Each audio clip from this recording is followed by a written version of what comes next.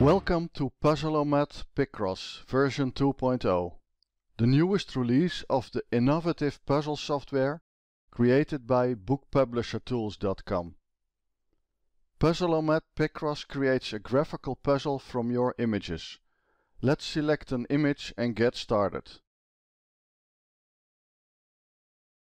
At the left you can see the image that we just selected and at the right you can see the solution to the Picross puzzle, which is generated immediately when you select an image.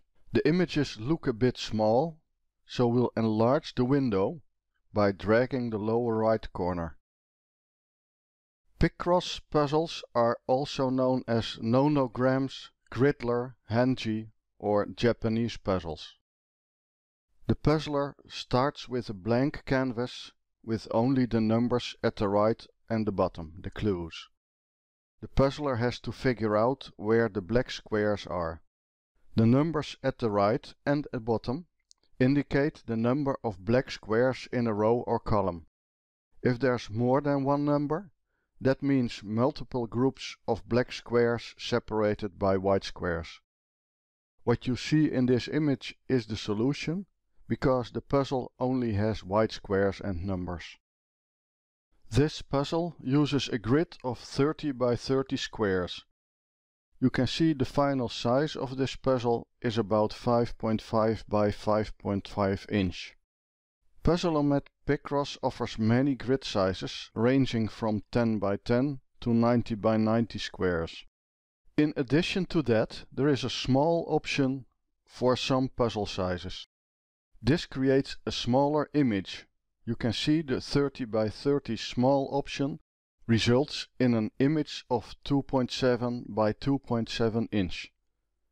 The larger grid sizes automatically use the small option, otherwise the puzzles would never fit on a page. The original image has a lot of empty space around the car. That results in a puzzle with lots of blank rows and columns, which is not a pretty sight.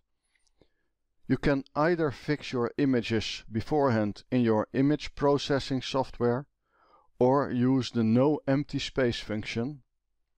This removes the empty lines and columns from your image and then creates a puzzle from that new image. In most cases the grid will now be rectangular and not square. Let's change the grid to 80 by 80 to create a more complex puzzle. If this solution preview is too small for you, you can zoom in using the mouse scroll button. This works for the source image preview as well.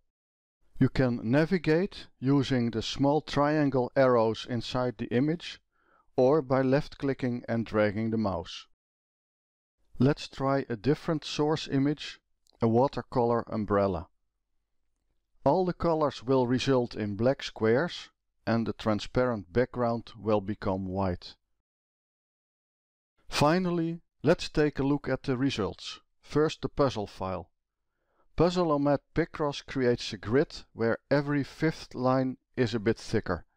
Other than that, it's just an empty grid with some numbers. The solution file is what you've seen in the preview this one was created using a 50 by 50 grid and a no empty space function. To get access right now, use the link below. Puzzle-O-Mat Picross version 1 customers can download the new version in the member area for free.